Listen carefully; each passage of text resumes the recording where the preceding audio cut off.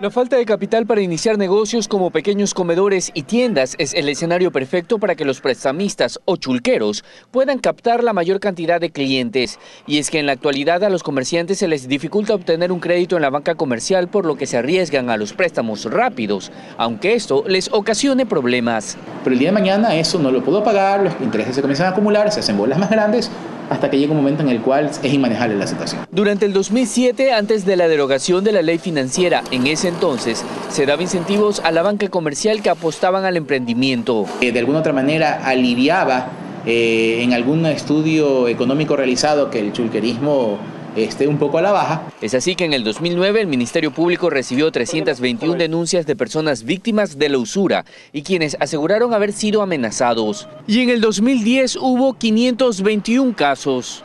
Y es que para garantizar el pago del préstamo irregular, los chulqueros ejecutan una serie de mecanismos que en ocasiones termina con la muerte del deudor, para demostrar que la cuenta está saldada, por lo que la policía incluirá en el plan de recompensas a quien dé información para capturar a prestamistas. Esto va a estar enfocado en las ciudades donde se da eh, la mayor cantidad del cometimiento de este delito, que por supuesto una de las ciudades es Guayaquil, o serán montos considerables. Ya que muchas de estas personas obtienen los recursos producto de actividades como el narcotráfico. César Velastegui, 24 horas.